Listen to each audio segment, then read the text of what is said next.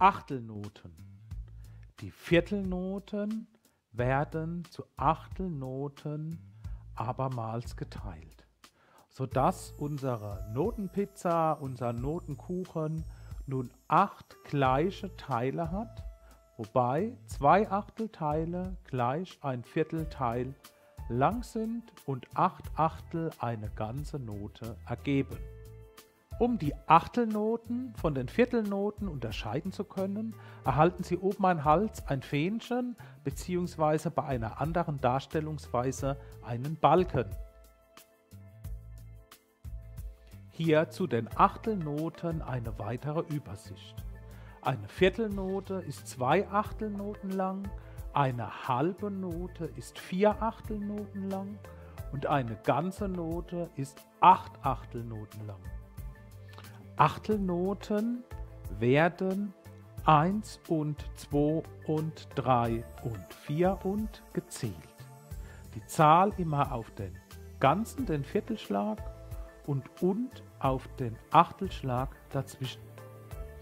Zur Übersicht auch nochmal das Kreisdiagramm.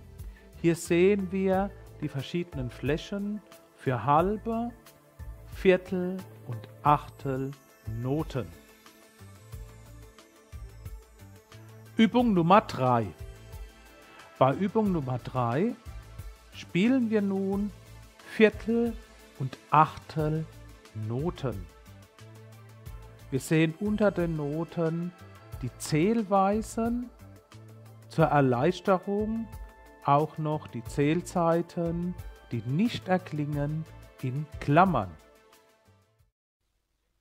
Bei dieser Übung spielen wir zusammen die Viertel- und Achtelnoten.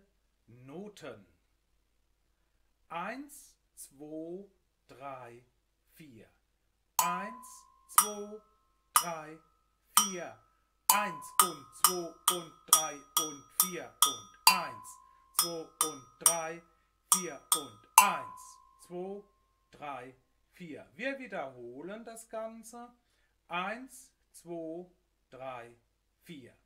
Eins, zwei, drei, vier. Eins und zwei und drei und vier und eins, zwei und 2, 3, 4.